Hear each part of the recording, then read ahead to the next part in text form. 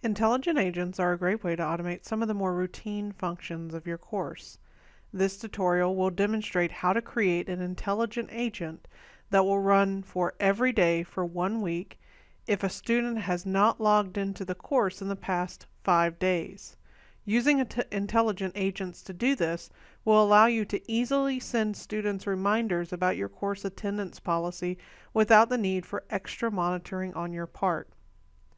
To create this agent, go into the course and click on Edit Course at the top.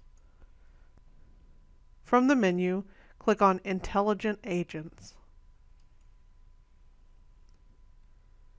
Click on New at the top.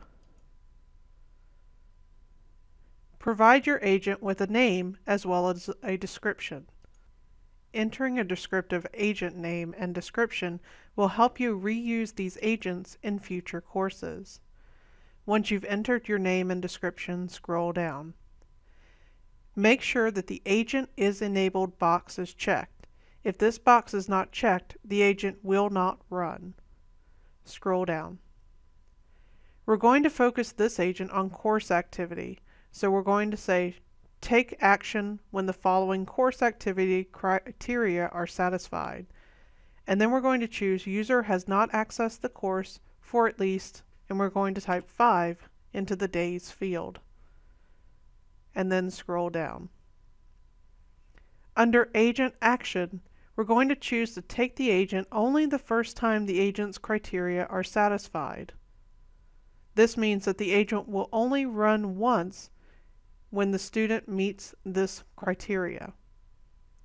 Scrolling down, we're going to check the Use Schedule box, and then click Update Schedule to choose how often our agent will run. In this box, we're going to repeat this agent daily. We're going to repeat it once a day, and then we're going to enter a start and end date.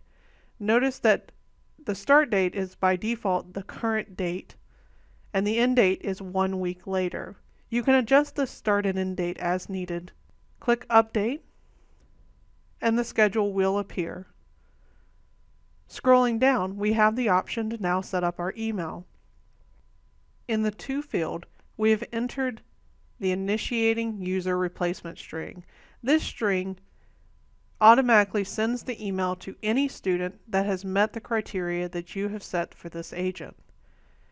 Next, we're going to enter a email subject and a message to our students. Once you've entered your subject and message, click on Save and Close at the bottom of the page to save your agent. Your agent is now set.